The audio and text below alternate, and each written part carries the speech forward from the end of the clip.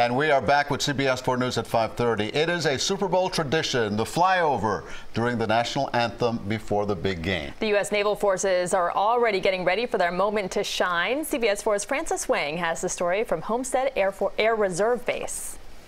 Spend a few minutes with these commanders. You'll quickly sense the pride they feel for their people and their planes. Incredible aircraft. Uh, more incredible are the people that maintain them. This Sunday, with millions of eyes on South Florida skies, they'll get to showcase their passion to the world. I think when you see us fly over, it should give you a brief glimpse into the teamwork that we rely on on a day-to-day basis. I'm one person sitting in an airplane. There is a squadron behind me of 225 people that makes that happen. It's a lot of pressure.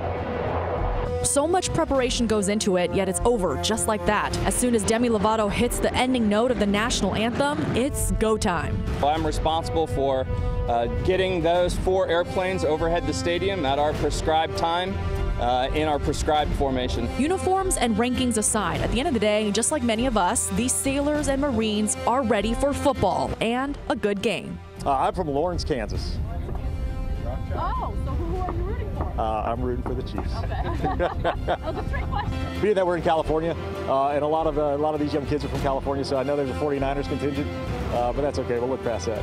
And you won't just see these guys in the air after the national anthem. They'll also be recognized on the field later on during the game. From Homestead Air Reserve Base, I'm Frances Wang, CBS 4 News.